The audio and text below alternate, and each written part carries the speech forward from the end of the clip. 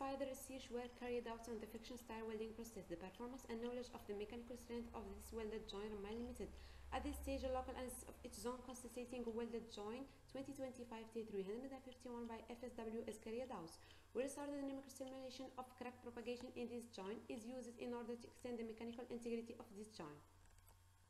To successfully simulate crack propagation under monotonic loading, we choose to use cohesive zone model in the frame of extended finite elements method. So we can see the result of the evolution of crack propagation with this method at the figure 1. And here the result obtained of G in the different zone at the advancing and retreating side. The result shows steady growth of the G. This growth accelerates after the priming of the crack. In addition, there is a significant dispersion on the tenacity at the priming. This dispersion may be due to the variation in the properties of the different zone and dissymmetry of FSW joint. We are also seeing that the gap of the integral G between the base metal and Zatium RS for priming is particularly double. Same gap is noticed between the nugget and Zatium RS.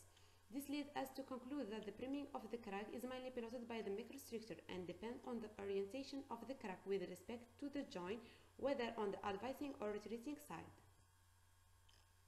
And here at the figure 3 we can see the result of stress intensity factor.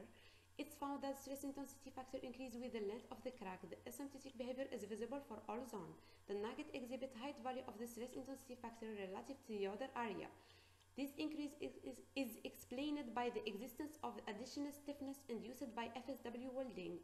This leads us to know that the nugget is the most resistant in the FSW joint of aluminum alloy 2025 T351. The growth of the stress intensity factor in the nugget lead to the evolution of the resistance.